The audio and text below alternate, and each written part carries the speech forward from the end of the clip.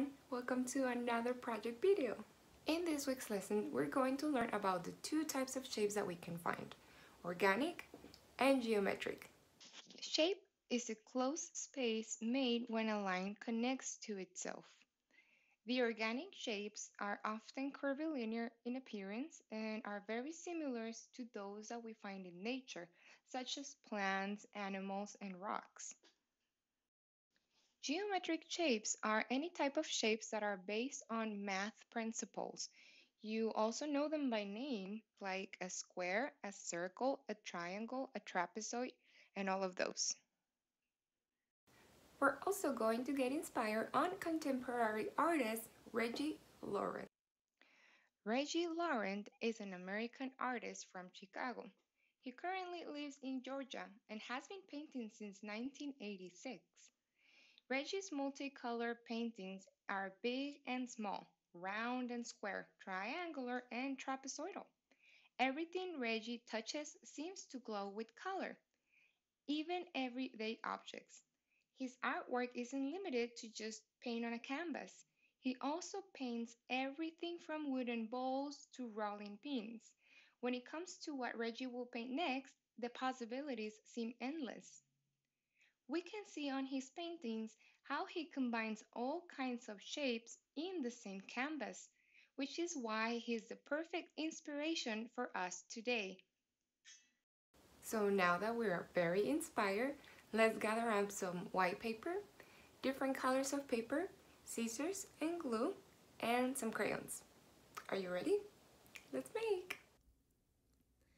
To start, we're gonna draw a bunch of geometric shapes on our color paper. Let's see how many you can remember. You can freehand draw them or use a ruler to help you out.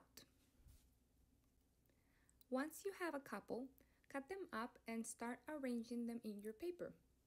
Arranging will help a lot for your composition. It's like building a puzzle, but you get to decide where everything goes. Next, grab more color paper, but this time let's draw those organic shapes we were talking about.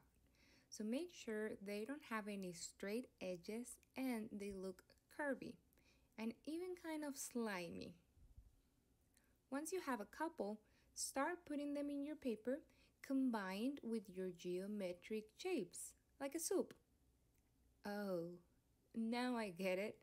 A soup of shapes. And if you need to draw more shapes to fill up the paper, do so. Make sure they all fit around each other, filling up the paper, but with enough space around them to breathe.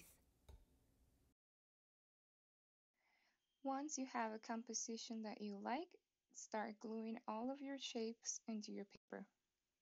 Next, we will add patterns and color inside of our shapes, just like one of Reggie's paintings. You could add patterns of line, dots, little shapes, anything you want. Get creative. We're going to get a little bit crazy and with some control scribble scrabble, that means that we're going to do messy scrabble lines in all of our white background, but we're gonna be very careful not to color inside of our shapes. So do it all with black crayon first and then pick another color that you like and go around all of your paper again with that color. And voila! We have just now created an abstract painting inspired of course on artist Reggie Laurent. Amazing!